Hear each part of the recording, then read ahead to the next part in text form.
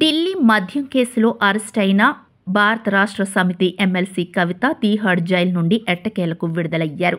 సుమారు ఐదు నెలలకు పైగా జైల్లో ఉన్న ఎమ్మెల్సీ కవితకు బెయిల్ మంజూరైంది. ఆమెపై ఈడీ సిబిఐ నమోదు చేసిన కేసుల్లో సుప్రీంకోర్టు బెయిల్ మంజూరు చేసింది. సుదీర్ఘ విచారణ అనంతరం justice B R Gavai justice K V విశ్వనాథులతో కూడిన ధర్మాసనం కొన్ని షరతులను విధిస్తూ బెయిల్ మంజూరు చేసింది. అనంతరం రాత్రి తొమ్మిది గంటల పదకొండు నిమిషాలకు ఆమె విడుదలయ్యారు. ఈ సందర్భంగా కవితను కేటీఆర్ ఓదారుస్తూ భావోద్వేగం చెందారు. కవిత భర్త అనిల్ కుమారుడు ఆదిత్య ఎమ్మెల్యే హరీష్ రావు ఎమ్మెల్సీ కవితను ఓదార్చారు. ఈ సందర్భంగా కవిత మాట్లాడుతూ కేవలం విద్వేష రాజకీయాల కారణంగానే ఈ అరెస్టు జరిగిందని ఈ విషయం దేశం మొత్తానికి తెలుసునని అన్నారు. నేను తెలంగాణ బిడ్డను.